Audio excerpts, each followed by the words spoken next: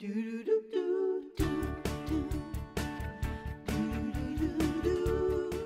celebrate baby and here with a great DIY that can you do with your children. That's why Coco's here today is Ken. And what are you going to be doing today, Ken? Well, we are going to make living Easter baskets, right, Coco? Right. Right, because so this is the twins are now two. Coco's four and Three quarter.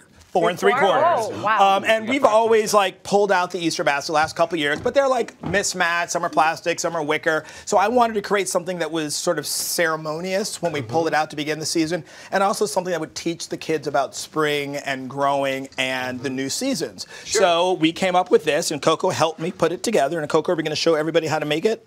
Yes. Yep. Okay. All right. All right. First of all, tell us what materials we're going to need. So for the materials, what you're going to need is just a, a plain metal bucket. Um, you're going to need soil, some various plants, calla lilies. That's the, that I'm going to help you, but you can help. Oh, thank okay. All right, we're not to that part yet, but yeah, you can help him. Grass seed, and then you're going to need bark. Now, um, where to get bark's a little tricky. You can't usually buy at craft stores. Go out to your wood pile, you can get it. I actually had a couple helpers help harvest mine. Uh, I think we have a little video of that. Oh. all right. What do you have there, Margot and Flynn? Looks like they're doing bark. Yeah, that's bark for our Easter baskets. Bark, bark, bark. Bark. But why? Why, why do we eat it? Why do we We're going to do a project with it. it? Mom, What's the project? Mom, Oh, we don't need that, Flynn. Thank you. that. Yeah, that's trash. Yeah. Just so that's how we got throw our it down. Yeah. You got it. Just throw it down. Yep. So that's what we needed. So we're gonna get started, Coco. You're gonna help me out here, right? So what you're gonna do is get your piece of the bark, and it really does just pop. If you have a wood pile, it pops off the back of your wood pile, and you'll find it just lying there. And you want to get pieces that are gonna be roughly the height of your bucket. If it's not quite the height, you can always just do a little line, run it through a chop saw or a little hand saw, and then you're going to put glue on it. Coco, you're gonna help me here. Mm-hmm. Now there, it is a little bit tricky. Give it a good squeeze. I'm using Gorilla Glue here because depending upon how big your log, here, Coco, let me get it going for you.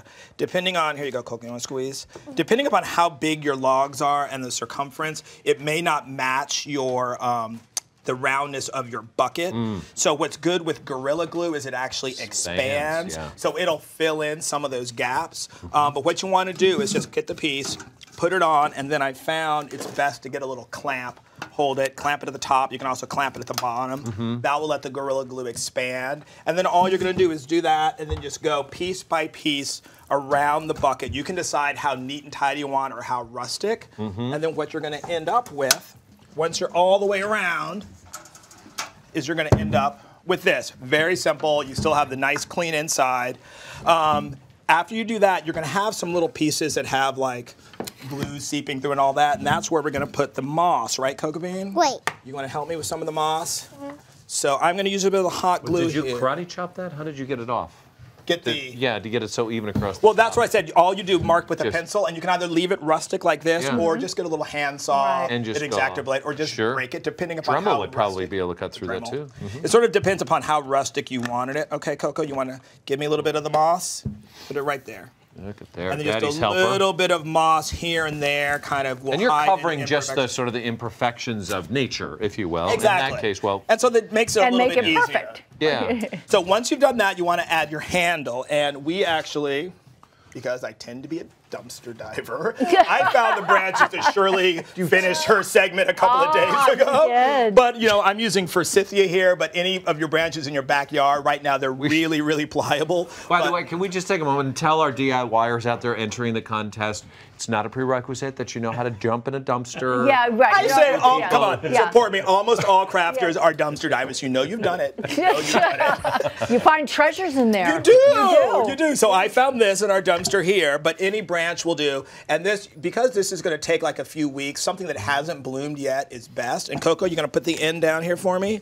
And all you're going to do is end, and that becomes your handle. Very easy. And so this will continue to bloom and grow um, as you get closer to Easter. And Coco, you're going to help Mr. Mark with the dirt. And then goes the all you're gonna do is fill it up with dirt. So basically, you've got the bucket, and you can use the bucket year after year after year. Every year, fill it with new dirt, put in a new branch, Uh-huh. um, and you're good to go.